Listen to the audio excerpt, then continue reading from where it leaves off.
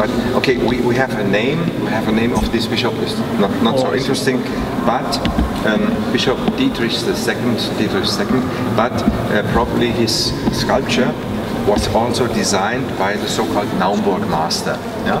yeah, okay.